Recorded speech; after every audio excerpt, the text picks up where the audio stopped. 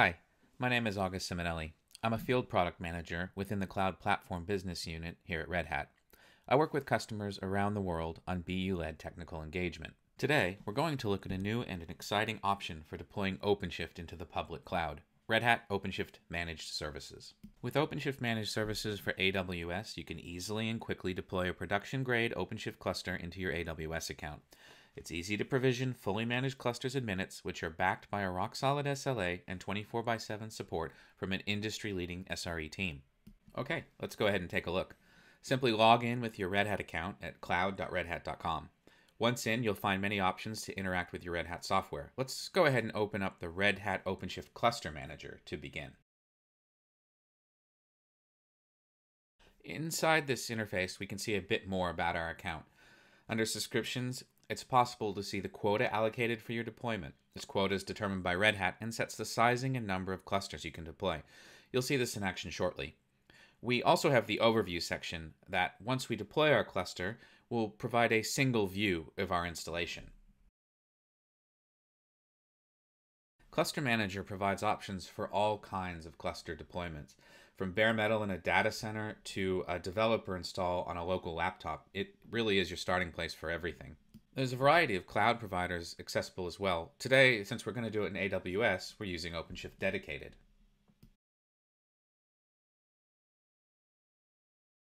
So there are two billing models for a managed OpenShift deployment. One's a standard uh, subscription where we deploy into a Red Hat AWS account, and one is the uh, customer cloud subscription or CCS model that allows Red Hat to deploy and manage OpenShift dedicated into your AWS account. So you handle the billing with your infrastructure provider and the quota and OpenShift billing with Red Hat. And of course, when you use your own AWS account, there's some very simple basic setup, really well documented. I've done that already, so we can keep things moving. So I go ahead and supply my AWS credentials. Obviously, don't lose or revoke these, or you will lose access to your cluster. And then, of course, give your cluster a name that makes sense. I used test cluster today.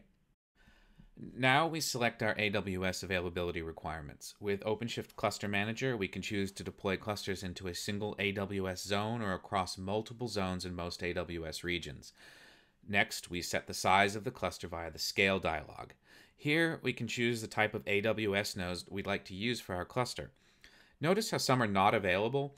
Uh, this is a reflection of our quota allowances and what is required for a multi-zone deployment.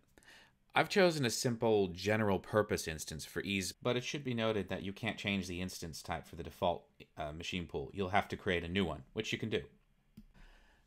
Next, we can set the worker count per zone. The available options here reflect your quota allowance and the instance type you selected. In my case, I've chosen one per zone for a total of three. You can even easily add node labels for these machine pools directly from OpenShift Cluster Manager. Now let's go ahead and take a look at networking. With the managed services offering in AWS, you can get a pretty specific about your deployment. You can use your own VPC, and you'll even be asked for all the required settings. Uh, you can um, also set your address pools for things like the machine network and the service network, and of course for your pods and, and your pod sizing. You do this to suit all your specific network requirements.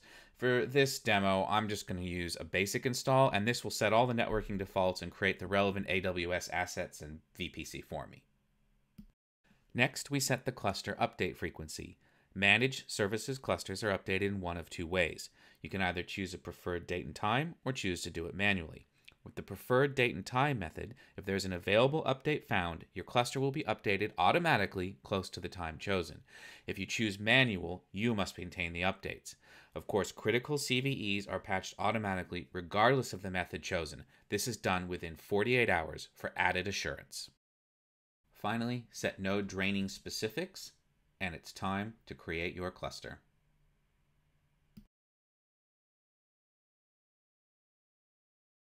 Cluster installation is pretty easy. It's entirely hands-off. The installer does all the work for you using the settings you provided. You can follow along in the comprehensive logging, or you can let it run, go have a coffee. So my cluster took mm, about 40 minutes to install in my local AWS region. So we'll go ahead and speed things up so we can check out the results.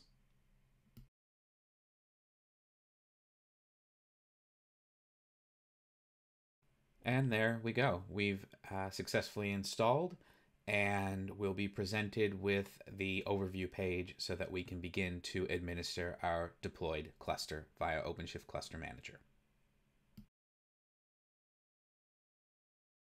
Now that we have a freshly deployed cluster in AWS, the first thing we need to do is configure access to it. OpenShift dedicated clusters are accessed by configuring an identity provider via the OpenShift Cluster Manager directly. As with any OpenShift install, there are a variety of providers available. Let's go ahead and use GitHub for this example. I've created an OAuth application in my GitHub account, so I just need to configure it to allow my new cluster to use it.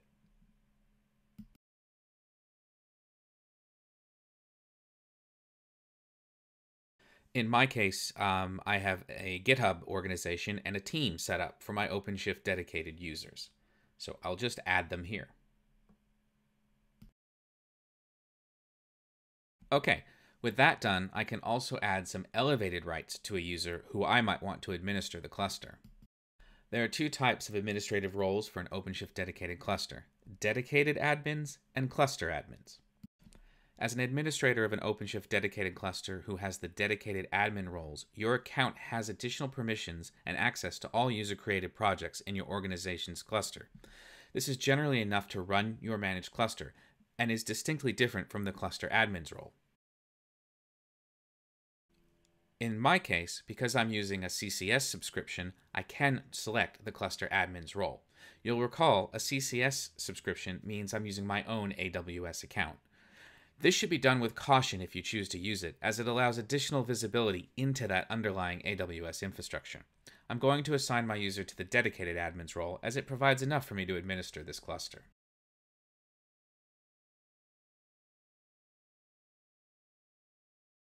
With that done, I can now open the console and I will find the provider available for login along with the um, site reliability engineer logins. So I can go ahead and log in.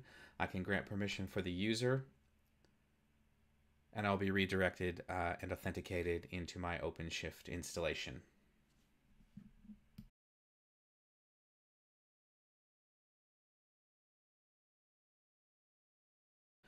Now that we've configured authentication and can safely log in, let's see what else we can do with OpenShift Cluster Manager.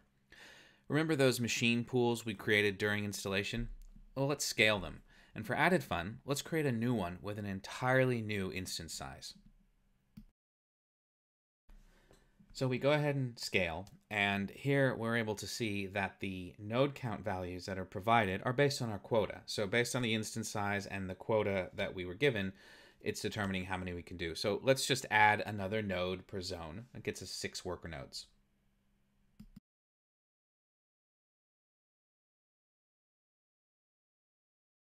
Next, let's create a new machine pool. Maybe this could be for some special workloads we want to onboard.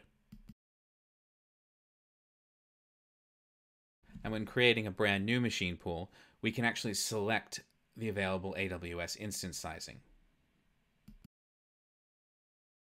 Let's create a new machine pool, say for memory optimized instances. OpenShift Cluster Manager will present the number of instances based on the size you choose and your remaining quota.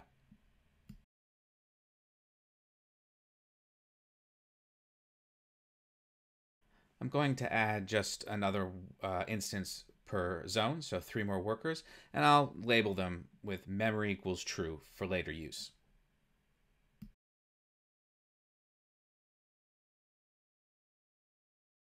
And we can now log back into OpenShift and review the results of the work.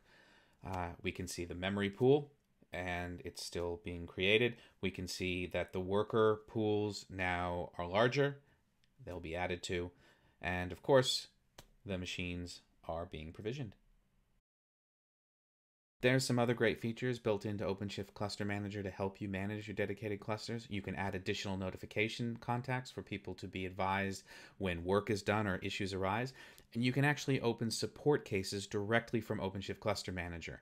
This is great. It, it uses your account, logs you straight into the Red Hat support system, and just makes creating a ticket simple, easy, lets you get on with your day. There's also comprehensive logging for your uh, managed cluster with a history of all events that take place. It's sortable, searchable, it's also downloadable. It puts sort of all the information you need to troubleshoot any issues or share any information right at your fingertips directly from the UI.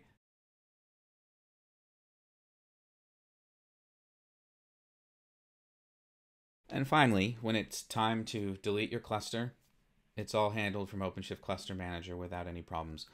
Just simply choose Delete Cluster, give the cluster name, and let the process kick off. Installation in my AWS region, it just took a few minutes, but I've still sped that up for convenience. Once the cluster is deleted, you have a history of all the clusters you've built. Um, your subscription and quote accounts are obviously updated as well, and you're ready for your next cluster. And that concludes this demonstration. I hope it was useful and helped show you just how easy it is to deploy a managed OpenShift cluster with Red Hat OpenShift Managed Services for AWS. Thanks for watching.